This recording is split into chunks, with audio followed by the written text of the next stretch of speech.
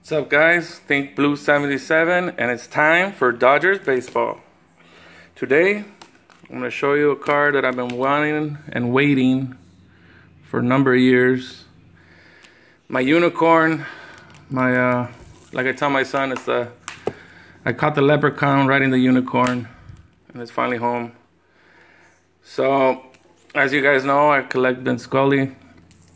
Grew up listening to Scully and the Dodger games, and kind of is what you know gave me a part of the love of the game. Listening to him tell the stories, talk about the players, um, just how he went about it, kind of put you in the game. So I've been looking for this card for a number of years, and I finally came across one and to have gotten it in the condition that I got it in is pretty amazing. So here it is, finally, the unicorn.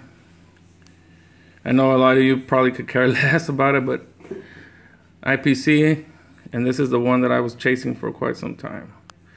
So what you see here is an early 1951 postcard with uh, Connie Desmond, Red Barber, and Vin Scully issued in 51. These were uh, distributed pretty much uh, when fans had questions or concerns. They'd write to the to them, and then they would send these postcards out to them. Here's the back. The seller said it was uh, signed by Red Barber, and from what little research I've been doing, or some of the research, it looks pretty legit. It could be a secretarial autograph. We don't know. It's not graded. But so far, it looks all right. And Red Barber was known to sign his autographs mostly in red. So there's that. And it's postmarked there, 1951, which makes it even better. So there's that. So a lot of these through the 50s and 60s, as you've seen with some of my other postcards. They all have the same thing. Thanks for writing. Thanks for your suggestion. So on and so forth. You get these a lot throughout the 50s and 60s, even the 70s a little bit. Pretty generic. They'll sign it and send it back. But what I like is the condition I got this one in. Very clean. It has the postmark, which is a plus. Signed by Red Barber there. So as you know, Red Barber, Dodgers announcer, later becoming a Yankees announcer in the late 50s and early 60s. And this is pretty much Vin Scully's rookie card.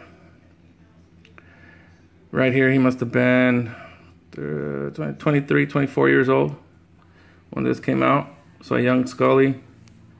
Red Barber once was known uh, to have said Vin Scully was pretty much the son he never had. So he took him under his wing and pretty much taught him what he knows as far as he brought him into the Dodger organization and made him an announcer. And when he was gone for some time and he was out sick, later on he became uh, the full-time guy there with the organization. So there it is, guys. I mean, long awaited. Pretty much close to 10 years waiting for this one. Last one I saw sell was about that, you know, was then. And it was in a lot worse conditions than this one. The other one I had seen was torn, taped. Little corners were missing. And um, for me to have found this one was very good. So there it is, guys. The unicorn has been caught, found in his home where it should be. So there it is. Tell me, let me know what you guys think. All you Dodger fans, you know who you are. Mike Y. Pepino Man. G's Mikey. Joey brings it. Let me know. What do you guys think? Now you know what to look for if you're looking for one of these. And there's that. Can I hold it? No. Put it here. All right, so to end it off, we're gonna go with the uh, funny card of the video. And we're gonna go shout out to all the ladies out there that are looking for a rich bachelor for you. Or guys, Pepino, I don't know. Let me know. Looking for a rich bachelor, there it is. All right, guys. Thanks for watching. See you in the next one.